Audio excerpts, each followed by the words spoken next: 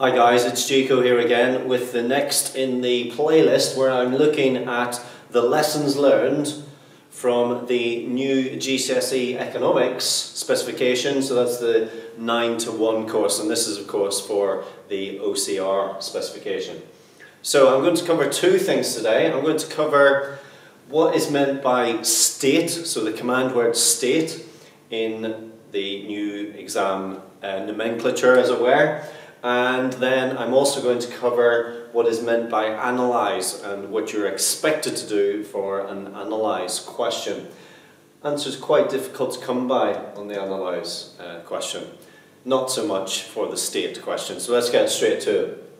Now, by state, all we mean is define, really.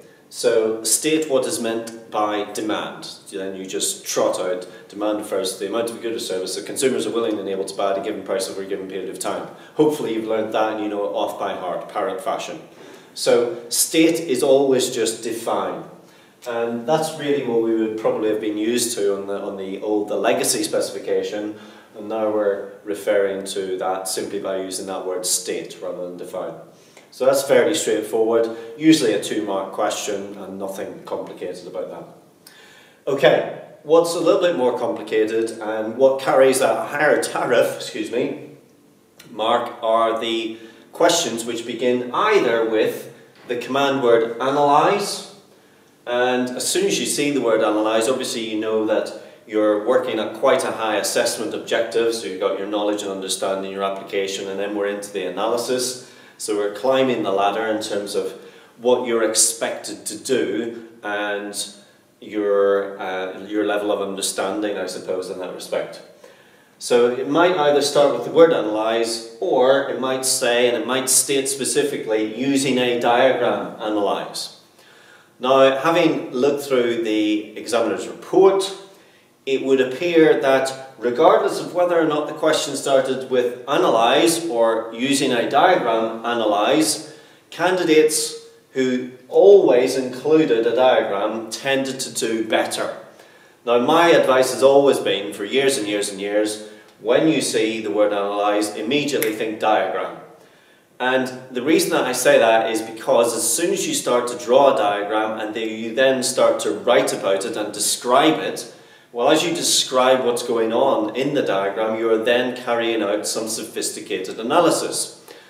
So let's just have a look at that by way of a fairly straightforward labour market diagram where the demand curve is shifted to the left, uh, D1 to D2.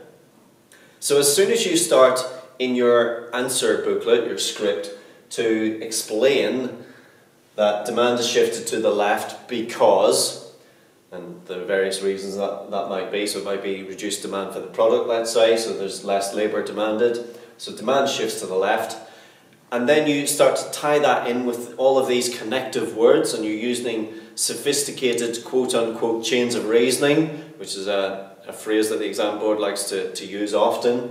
So demand shifts to the left. As a consequence, the wage rate in this particular labour market falls, the quantity of labour supplied and demanded is reducing. And once you start to use these phrases, you are then performing quite sophisticated analysis. And therefore my advice would always be, whether or not it says using a diagram or simply analyse, always try and put a diagram in. If there's no room for a diagram, just draw one anyway, or go to the spare pages at the back of the answer booklet and draw one there. And that's the way to get around that. But always, my advice, my best advice is always to include a diagram. Now, I would also suggest to you, and I really only say this having read the examiner's reports, is to always, you know, this whole notion of putting into context is important, but do that on the diagrams too. So for example, on the June 2019 papers, there was some type of reference to do with the elasticity of, I can't remember which curve it was, supply or demand.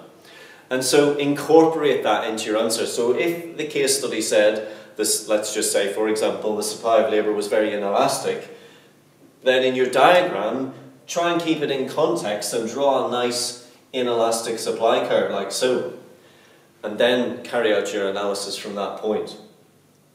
And a final point to say, and this is a kind of extension here, um, in order to get the, the six marks out of six. When, it, when you've done all of that, and you've done all of your analysis, then ask yourself how. And what do I mean by that? I mean, how might this impact economic agents, I suppose is the best way to put it. Or how might it impact um, some of the stakeholders who are referenced within the case study material. So ask yourself that. And then once you've asked yourself it and you've got an answer in your head, put that answer on paper.